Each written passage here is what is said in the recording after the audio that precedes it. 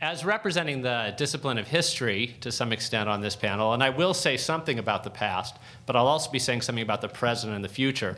But I feel like to do justice to my discipline, I should um, obey one of its rituals, which is we often like to start our presentations with a joke. And this is one of the first talks I've given since Obama's been um, president.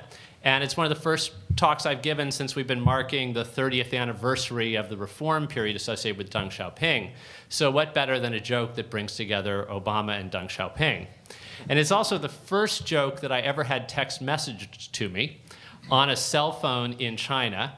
Um, it was sent to me in Chinese. And it goes basically like this. And to understand it, you need to know that one of Deng Xiaoping's fa most famous sayings was to show his pragmatism. It doesn't matter if a cat is a white cat or a black cat. If it catches mice, it's a good cat. So the joke went something like this. Americans had always voted for white presidents, never black presidents. But then finally, they were influenced by Deng Xiaoping's thought. And they realized it doesn't matter if it's a black president or a white president. If it can solve a crisis, it's a good president. All right.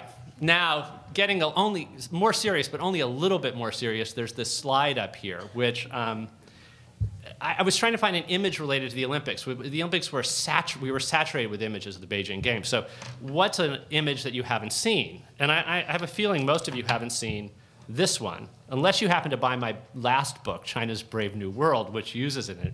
But it's a shot of um, the lead up to the Olympics. I think it's important to think of the Olympics, and the keynote last night described that away. The, the Olympics, the 2008 Olympics didn't just take place in 2008. We need to think of them as something that began with the bids, that began with the lead up, that began with the promotion. And I'm going to argue they aren't over yet, but I'll get to that at the end. Um, but this was a Shanghai, um, uh, something showing that Shanghai too was supporting of the Olympics. There's often tension between Beijing and Shanghai. Shanghai got a little bit, got some soccer matches, but they were also um, showing they were part of this. And I think this is a great slide to show anytime I give a talk in Southern California, because it looks to me like a runaway float from It's a Small World more than anything else. So that's one reason um, to show that. Uh, it's a new image. The other is I've got a book that I'm flogging, which is about um, Shanghai. So I wanted to show you an image about Shanghai, and I'll get back to why um, Shanghai in 2010 is something worth thinking about when thinking about Beijing in 2008. But um, first, I want to give you just a very quick overview, and Shushen's covered some of the things I might have covered. So this is, this is, these are basically the takeaway points.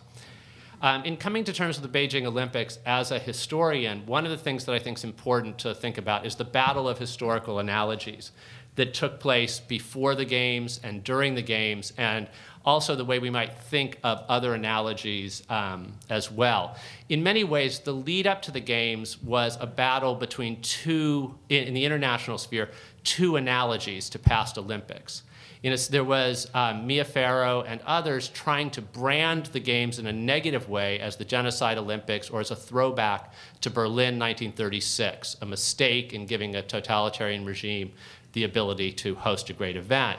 The counter to that, not so much from the Chinese side, but from the IOC side, was to throw up the example of Seoul in 1988, recognizing a country that was emerging perhaps from a period of authoritarian and closed rule to re-engaging with the world, and perhaps the Olympics would help push things along in this opening up direction, as it happened with South Korea democratizing around the time of the Seoul Olympics.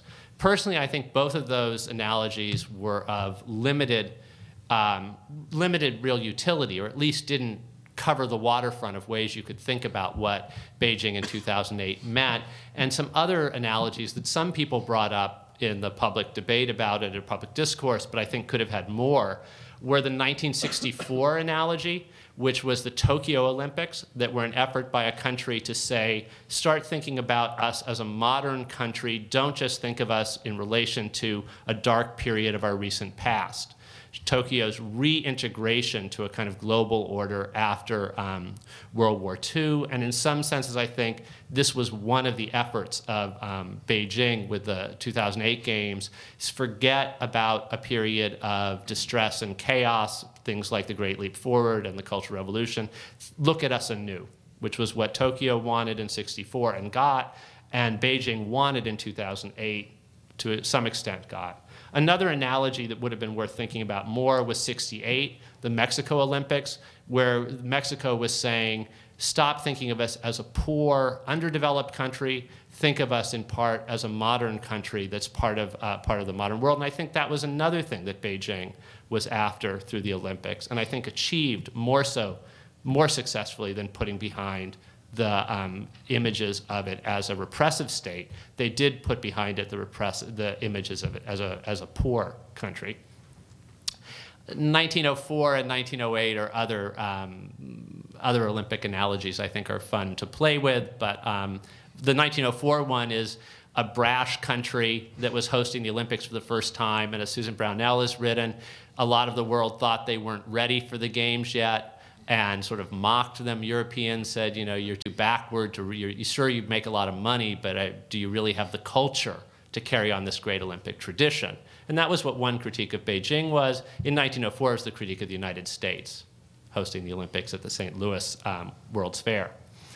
1908, I won't go into, but it was the London Olympics, the first London Olympics, and there was a boycott at the time in part called by Irish athletes who wanted to compete under their own um, national team and Finnish athletes who didn't want to compete under the Russian flag.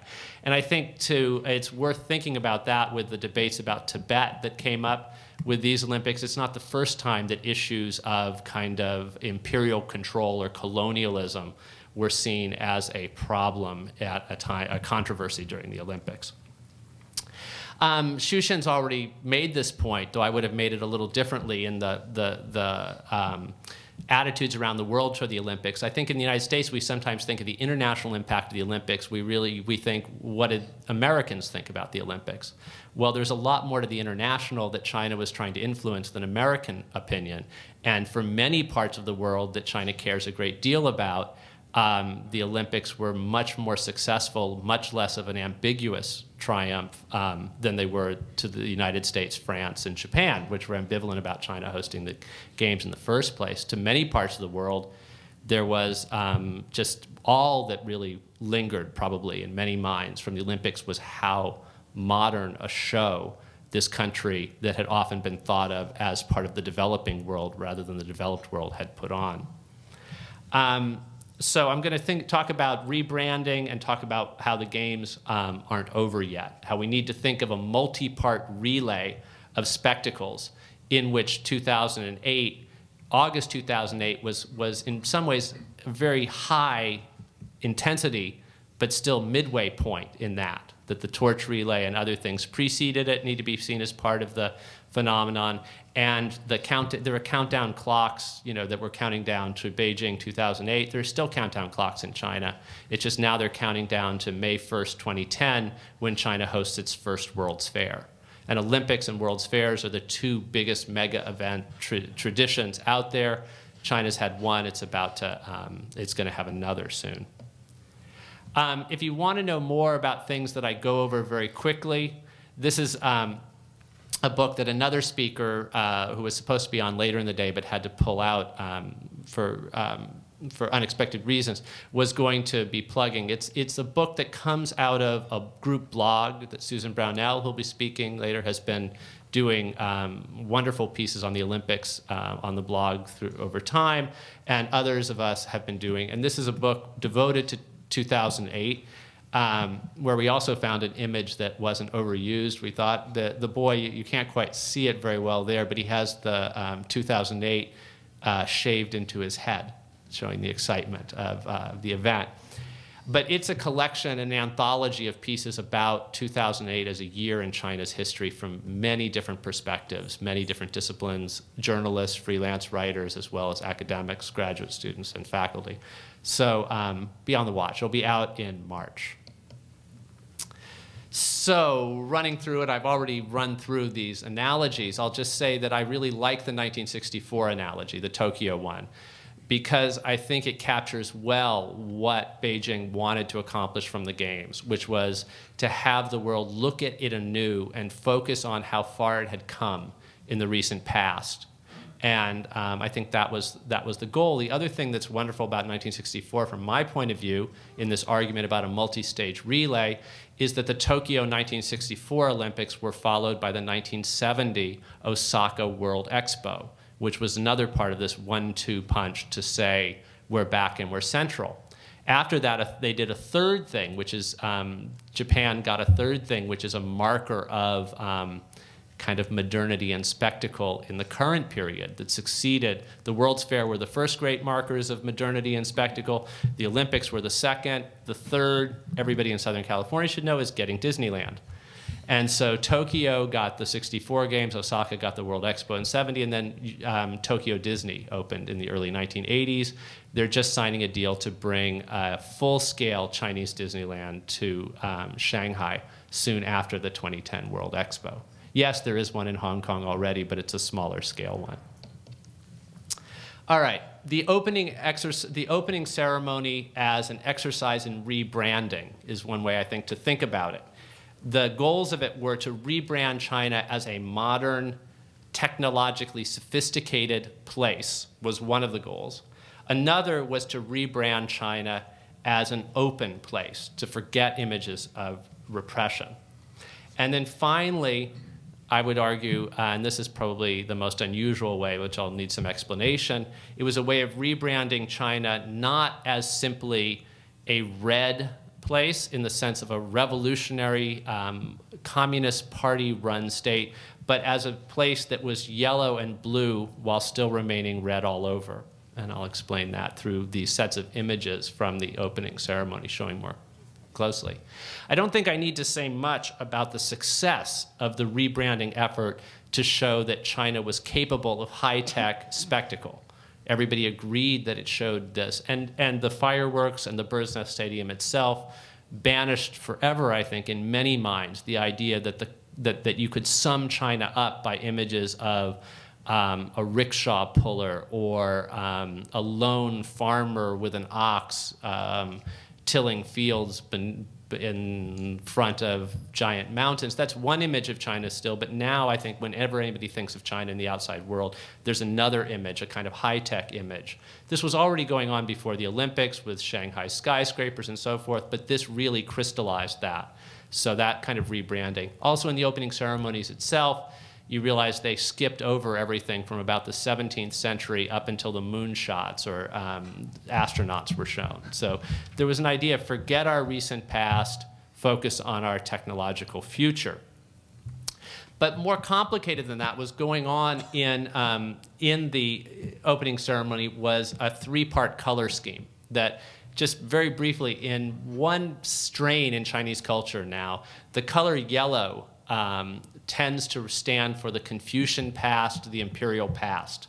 The color blue tends to stand for China's connections to the outside world, its kind of its Silk Road past, its treaty port um, past. And then there's red, which stands for revolutionary red of um, the events that brought the Communist Party to power.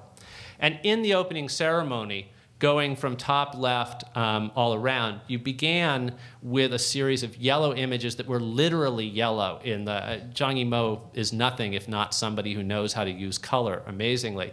It began with a quote by Confucius. Um, people dressed in yellow who were supposed to represent Confucius's um, disciples, the drummers who were in yellow. Then one of the next images up on the right, it was an image of the Zheng He um, navigational exploration, which was a sign of China's links to the outside world, suffused with the color blue. And the people were dressed in blue um, there. But then finally, you ended on a red theme with all of the red flags and um, all of the reminders that, that China, please remember that we have this distant, glorious past. Also remember that there are times when we've opened to the world and we're opening it to again, but then ultimately for both the national and the international audience, but don't forget who's still in power. What got attention and what didn't? Okay. Um, I was fascinated by one of the things that didn't get attention that I think should have, which was Confucius's role in the opening ceremonies. I think in this case, the Rogge said that the Olympics gave the world a chance to learn about China. And this was a great opportunity of learning that was just completely botched there was a forgetting of the fact that over a long period of Chinese uh, recent past, Confucius had been denigrated, despised, struggled against. There he was showing up being celebrated in these Olympic uh, opening ceremonies, and all people said was, oh, the news commentary said, oh, China has its 5,000 years of tradition that it long has celebrated. So this was a missed thing. Confucius was the great comeback kid of the Olympic Games, the person who you could have counted as being out of contention, and there he was assuming the, the highest mantle of the medals, and nobody mentioned um, that fact. Final, I'll just end, and I can say more in the um, questions and answers about this yellow, blue, and red scheme, is that the games aren't over that the um, the um, the the relay goes on. The next stage and it's going to come complete with mascots um, at least as goofy as the Fuwa, I think more so. Haibao, which is the um, mascot of the 2010 um, World Expo, it's going to be high tech. It's going to be focusing on China as a country that's re-engaging with the world while still um, celebrating its, its glorious traditions of the past and still being a, a part of the communist presence. So be ready for this and be ready for all of the hype that won't play as much in the outside world as it does in China because we, eh, rather in America, we think of World's Fairs as a has-been kind of thing, a 19th century thing, an early 20th century thing. But in much of the rest of the world, there's going to be a second chance of at least continuing the rebranding of China as a high-tech place and a place that's one of the big players in global spectacle. Thanks.